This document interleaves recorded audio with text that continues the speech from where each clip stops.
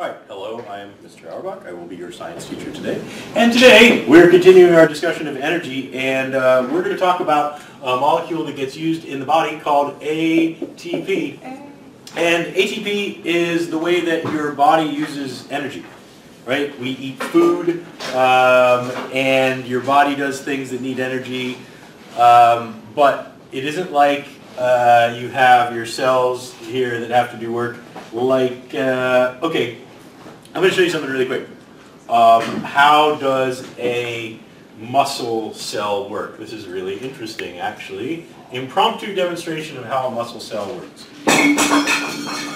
So in your muscles, right, which are long strands that contract, right? They contract. That's what makes you able to pick up the things and put down the things. Um, and it works like this. You have these little units called sarcomeres, and it's just this little thing, and it's got uh, two different kinds of protein. It's got this kind, the red kind, and it's got this kind, represented as the black kind. And, uh, and then it also has these other things. And what they are is little ratchets. You know what a ratchet is? A real ratchet, not the word y'all use like something's ratchet or whatever. Yeah. I'm sorry, I'm going to pretend I never said that. But um, anyway, they what they do is when the signal comes, and this is really interesting. You're going to learn how something works today in biology. Um, when the signal comes from the body to contract a muscle, what happens is the these um, there's these little spots that cover up part of the, the protein fiber, and when the signal comes, they disappear, and all of a sudden, these little ratchets stick to the other type of protein, and then they sort of, they both pull inward, so they kind of, they go in like that, and when they do that, it causes it uh, to go, oh, arrow, it, it causes the whole thing to shorten because now it pulls the two bands towards each other. I'm to the black one. It's still in the middle, but now the things, instead of facing that way, are kind of like that. And so they pull it in. So it goes from being big to being small. And it actually does it a bunch of times. It's like, like, and you crank it in, Yeah. and it causes the muscle to contract. Anyway, the point is, what, what? What is, what is, this is just energy working in your body? Well, this is, this is a, uh, what I'm showing you is a process that takes energy, and then in a second I'm going to tell you how it gets that energy, right? So, so this is contracting a muscle. These little things happen, and they literally, it's like they're pulling the two sides of the muscle cell together, and then the muscle's contracted, and then, then it lets go. Next time the muscle contracts, it pulls them in again, and that takes, that takes energy. The question is, how does that happen? Turns out that the body uses this molecule called ATP to do this. And first of all, I'm going to say what ATP means, which is adenosine, adenosine, what Gigi said, triphosphate. I think that was Gigi. That was me?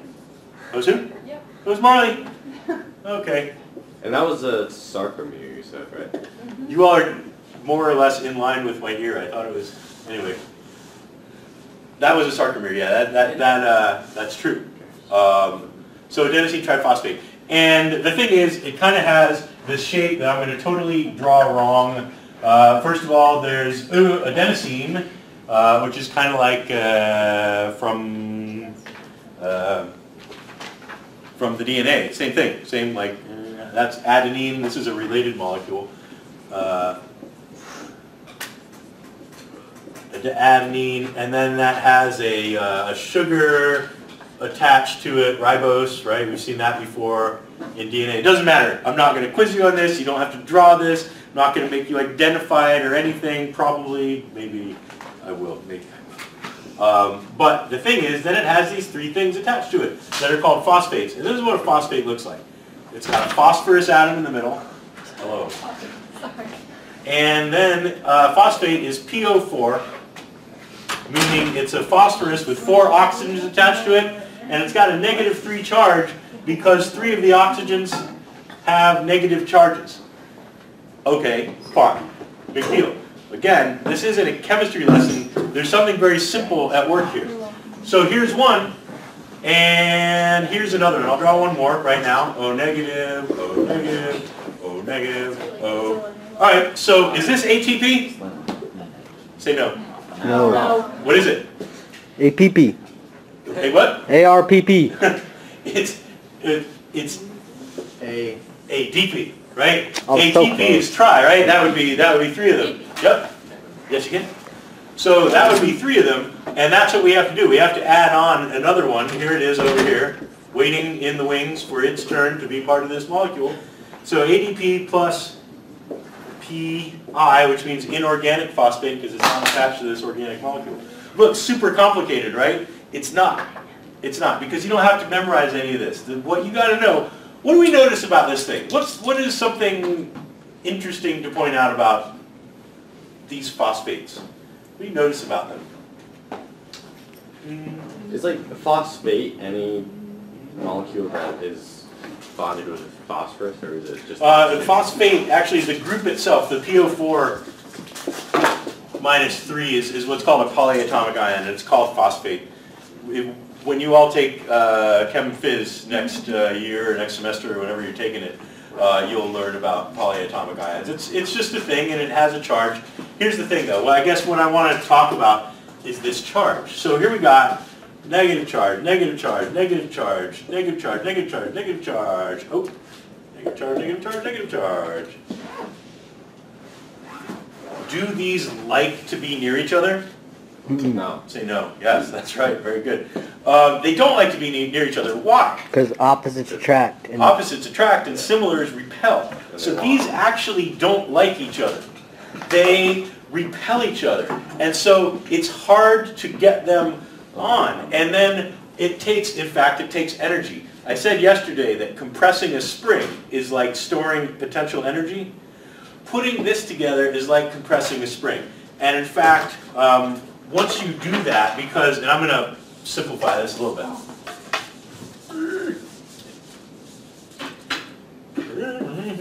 So here, P O four negative three, P O four, three. They don't really like to be near each other, and so it takes a lot of energy to put them together. And once we once we do that, I draw this thing. It's called a high energy bond. It's like a compressed spring, and especially once you put the other one on there. Now it's ATP. Now what you have is a compressed spring that is just ready to go. This molecule doesn't last very long. This is what, this gets made in your cells individually. You can't drink a cup of ATP and have more energy like you could like Powerade or something like that. Powerade is glucose and that gets converted into this so it gets used in your cells. Because what it does is once you put this third one on, and then you, you could basically take it anywhere in the cell that you want and break it off, and that'll create energy for you. Like, here's the thing, I'm gonna go back over here, and I'm almost done, actually, so just hang in there. So here's our, uh, here's our muscle cell again, getting ready to work, and here's the, the ratchets that are attached. And now I said, we gotta, we gotta get these to go like that to do it. So what do you do? You take, you, you pull up an ATP next to it.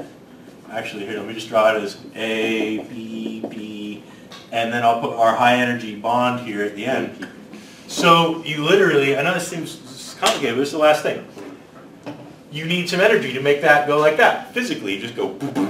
And so what you do is you put that right there, and then uh, a chemical reaction happens that makes this come off and go back to being PI and ADP. And then a bunch of energy comes out and makes that happen. Oops. What does PI stand for again? Inorganic phosphate, it just means one of the P's by itself. By itself. Yeah, and so anyway, the energy just comes from, from that. And so that is what I am talking about with the ATP. The ATP gives energy for reactions that need to happen in the body. And there's lots of millions of things that need to happen that need just a little bit of energy to happen. Actually, the very last thing I'll say. So ATP is the only way to do energy stuff in cells. You can't take, you can't take, uh, whoops, wrong color. a hamburger. Oh God, Oh, Saturn. I will edit that out. what's what's in another piece of food that doesn't look inappropriate? It's a UFO. I was gonna say hot dog. I know, uh, yeah, right. I hate you people so much. I can't think of anything A that's not inappropriate. Now, an apple. Here, an apple. What could be wrong with that? How- We're saying it. we're That's an apple. It's a cherry. I don't know what it is, but you can't put an apple next to yourselves and then be like, look, lots of sugar, boom. No, you can't. You take that apple and in your body, in the mitochondria, It's the powerhouse of the cell. powerhouse of the cell, the reason they call it that is because it turns the sugar in the apple into ATP. One glucose will make about 32 ATP molecules in a mitochondria. That's pretty good. And then you take the ATP to do that. So my, my little analogy here, the last thing I'll say is that, um, how many of you have jobs? Or, or, and you get a check, you get a paycheck, right? Um, I saw you at your job just the other day, right? Um, and, um, so, or even if you get a check from your grandma for, for Christmas or Hanukkah or whatever, you can't, if you, you know, you can't walk into the 7-Eleven with your paycheck or your $10 check from grandma and, and be like, uh, I'd like a hot dog, please, or, or, you know, a soda. You can't hand your paycheck to the clerk at the 7-Eleven. He's gonna be like, what? I, I don't take that. What do you need? You need real money, right? So ATP is kind of like the, the, the money. Spell rabbi, right? How do you spell rabbi? ATP is the money of the, of the cell. ATP is what you have. If you want to get things done in the cell, you got to have ATP and not A check. apples. All right? Thank you.